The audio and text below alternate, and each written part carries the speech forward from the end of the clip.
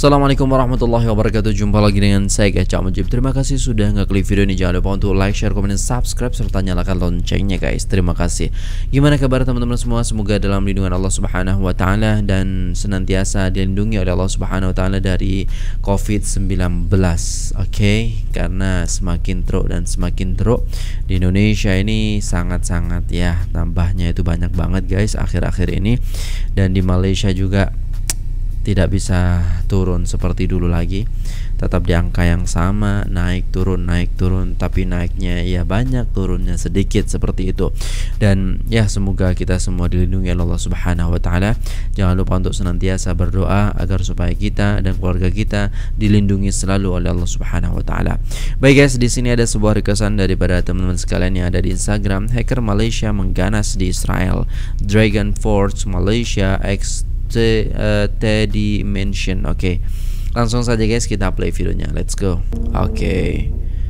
So welcome back to my YouTube channel Ali Wahid Right guys? Okay. So, pun aku just nak Ali Wahid Orang yang baru sampai Dekat dalam channel aku ni. Yang YouTube channel aku ni Mostly aku buat cerita pasal hacker Malaysia And kepada korang yang macam berminat Cerita pasal hacker Malaysia Or okay. apa-apa yang berkaitan dengan hacker activity Korang boleh support aku dengan tekan button subscribe kat sini. Tekan okay. button like And jangan lupa untuk komen. So Ops Bedil dah kembali bagi aku benda ni macam satu good news lah kepada kita as rakyat Malaysia mm-hmm. Sebab macam korang tahu. Kita kan macam saudara sama Islam dengan orang-orang Palestin. Tapi Betul. kita macam tak boleh nak ada dengan dia orang waktu waktu macam ni kan. Tapi yang hacker Malaysia buat adalah dia orang macam create satu ops which is ops bedil. Dan dalam ops bedil ni dia orang kumpulkan semua hacker yang ada dekat seluruh dunia. Tapi oh, mostlynya okay. adalah hacker Malaysia saja So benda macam menyatukan semua hacker Malaysia lah. So macam biasa tiap kali hacker Malaysia ataupun macam Dragon Force or 3 Dimension macam update something dekat dia orang punya page ataupun dekat dia orang punya forum aku ni mestilah aku macam aku nak sampaikan kat korang live update tau. Apa yang tengah terjadi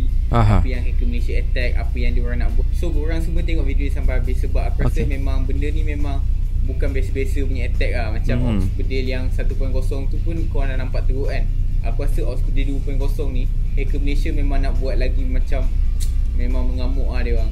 Okay so defacement first yang Hacker Malaysia buat. Lepas je korang ingat tak before tu Aku ada buat video kat sini kan Kan dia orang ada okay. attack a few website lah Tapi kali ni Bagi aku Hacker Malaysia ataupun Hacker Malaysia attack ni lah Which is Dragon Force Anti-Dimension Dia orang memang buat satu benda yang terbaik lah sebab apa? Sebab dia orang attack website airport Which is Rabon oh. Airport Something macam tu lah Aku tak ingat tu nama airport tu Aku sebenarnya tak arti nak pronounce nama airport tu lah Tapi lebih kurang macam tu lah So korang bayangkan Hacker Malaysia Memang hacker Malaysia ni bagi aku bukan biasa-biasa wow. lah Sebab dia orang memang guys. boleh attack Bayangkan website airport So cuba korang letak kepala otak korang Satu hari nanti Website KLIA kena hack mm-hmm. Lepas tu kena hack dengan orang luar So benda tu akan buat kita as rakyat Malaysia Macam okay. sukun okay. wow. ada hacker boleh hack KLIA punya uh, website kan So ini korang bayangkan yang hacker Malaysia attack website Israel Which is website airport So mesti orang Israel sekarang ni tengah tanya Siapa hacker Malaysia yang hack betul, website betul. airport ni So benda tu macam memang memberi apa memang boleh koyakkan dia orang. So untuk defacement dia orang tinggalkan waktu dia orang attack airport tu mestilah first dia orang letak logo T Dimension and Dragon Force tau.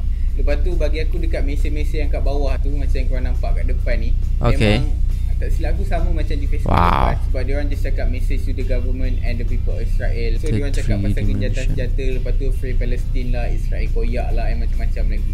Okay tadi tu website yang airport tu kena hack oleh kumpulan 3 Dimension tau. Tapi dia orang letak sekali Yang pertama airport ya Sebab yelah hospital ni kan Dragon Force yang macam buat kan. So mestilah hacker 3 Dimension tu letak sekali logo Dragon Force. Tapi untuk net investment ni bagi aku macam Benda tu macam mind blown gila. Sebab dia orang hack apa? Tau Dia orang hack university punya oh. So kenapa aku cakap macam tu? Sebab kali ni admin Dragon Force ni repost dekat forum. Macam tadi tu maybe admin 3 Dimension yang post uh-huh. dekat website forum Dragon Force ni. Tapi kali ni uh, yang hack university punya data ni adalah admin daripada Dragon Force ni tau. And bila dia orang dah wow. dapat je website-website macam university mesti ada data-data dia orang pun kena leak kan. Uh-huh. So aku tak tahu nama dia ni siapa tapi basically dia macam leak semua data-data yang ada dekat dalam website university tu lah. So macam korang tengah nampak dekat aku punya depan ni sekarang ni adalah mm-hmm. dia orang punya Facebook which is guess who got access with the message. Okay. Kat bawah tu macam biasalah hack by Dragon Force Malaysia uh, Israel Lepas tu dia orang cakap We are Dragon Force Malaysia So waktu dia orang cakap wow. Yang We are Dragon Force Malaysia tu Bagi aku macam Aku meremang tau Sebab kau bayangkan Kalau tiba-tiba dekat dalam Investment tu Dia orang letak mm-hmm. sekali Macam voice note Yang macam We are Dragon Force Malaysia So benda tu macam macam aku pun goosebumps Merinding waktu tengok di Facebook yang diorang buat tu lah. Okay yang kat depan sekarang ni adalah data-data budak-budak universiti Ah. Sebenarnya banyak tak silap aku data-data tu Tapi aku tak sure kenapa Dragon Force dia tunjuk macam sikit je punya data Okay so nak menambahkan lagi keseronokan Mesti banyak waktu datanya, diorang semua hack pasti. ni Tiba-tiba aku ada macam Aku waktu tu aku search kat Twitter tau Ops Bedil Aku search Dragon Force Malaysia. Lepas tu aku jumpa satu Twitter ni Dia orang update benda yang berkaitan dengan Ops Bedil ni. So aku buka lah. So nama website ni adalah Darkfeed. Korang boleh je check dekat Google ke apa Aha. Darkfeed.io Lepas tu kau search je Ops Bedil Lepas tu benda tu mesti keluar. So bila aku check kan Website-website macam Darkfeed ni kan Aku Aha. tengok dia punya news mostly pasal cyber security tau So benda ni adalah international news. So maksudnya sekarang ni Hacker Malaysia Which is Dragon Force and TD Dimension Dah berjaya keluar dekat news antarabangsa. Lah Macam Oxford 1.0 hari tu Dia orang just keluar news dekat Malaysia And keluar news dekat Indonesia tau. Aha. Tapi kali ni korang bayangkan News dekat Israel sendiri keluar And dekat dalam apa? Dekat dalam website Darkfeed tu memang Bahasa Israel punya bahasa Aha. lah. Memang aku tak faham. Tapi bila aku right click Aku tekan lah Google Translate kan. Memang aku baca lah. And dekat dalam news tu dia cakap yang Pasal airport Raymond tu kena hack Kena Mhm. deface dengan T-Dimension Lepas tu dia bagi tahu juga yang education macam university punya website dekat Israel tu kena hack oleh Dragon Force Malaysia and banyak gila data-data kena leak. So aku rasa benda ni macam satu kejayaan yang memang memang epic gila sebab kau bayangkan Betul. ke Malaysia yang langsung orang tak kenal, kita just kenal dia orang as nama Dragon Force and T Dimension je. Aha. Tapi nama-nama dia orang tu boleh pergi sampai ke news global punya news.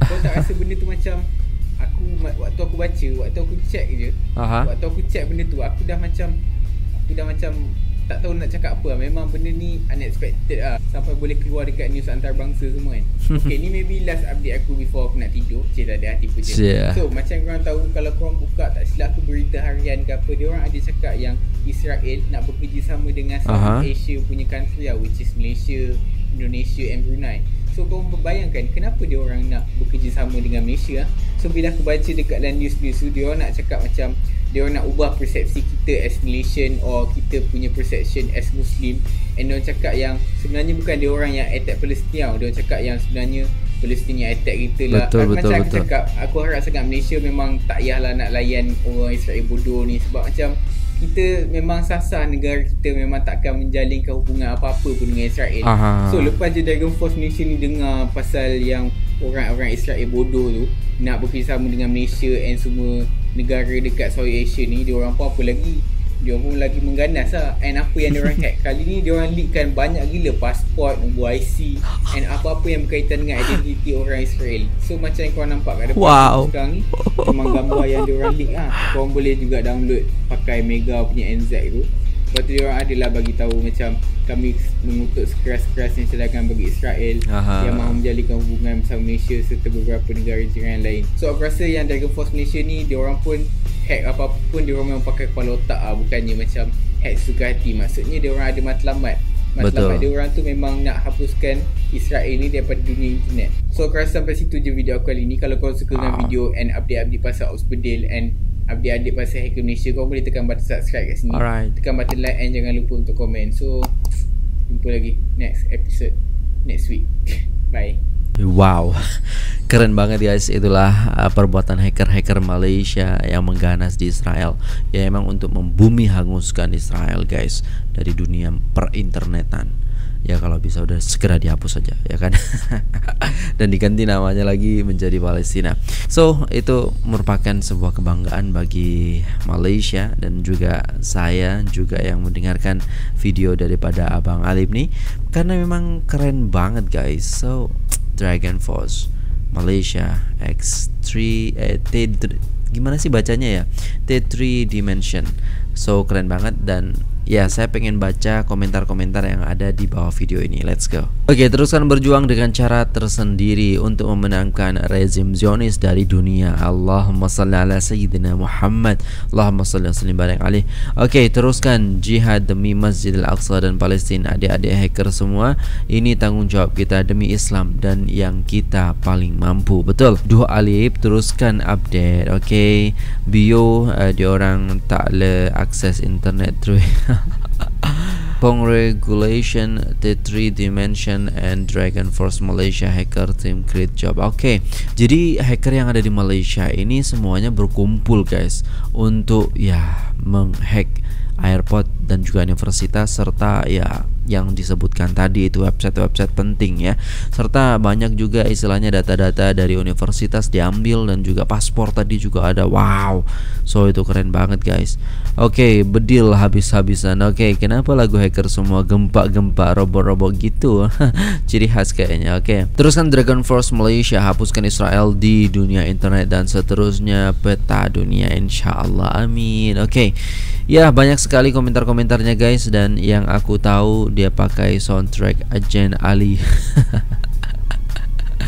Oke, okay, mungkin itu saja video kali ini. So bangga ya uh, terhadap hacker-hacker yang memang ya melawan dan berperang di dunia maya seperti itu. Dan ya hacker Indonesia juga sama melakukan hal yang sama yaitu menyerang website-website Israel dan juga menyerang istilahnya ya data-data penting daripada Israel itu sendiri. Maka daripada itu marilah kita berdoa agar supaya Allah Subhanahu wa taala memenangkan Palestina dan menghancurkan Israel. Oke, terima kasih sudah menonton video ini sampai selesai. Apabila ada salah kata mohon dimaafkan. Saya pamit undur diri. Wassalamualaikum warahmatullahi wabarakatuh.